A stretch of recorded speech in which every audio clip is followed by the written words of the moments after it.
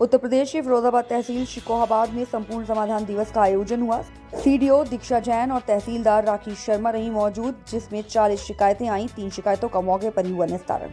दिवस में कुल चालीस शिकायतें अब तक आई हैं और उनमें से तीन का निस्तारण हो गया सबसे ज़्यादा मैम किस विभाग की शिकायत यहाँ पर नगर पालिका की शिकायतें आई हैं तहसील से संबंधित शिकायतें आई हैं। कुछ विद्युत विभाग से संबंधित हैं। Essa é de papo, pastel.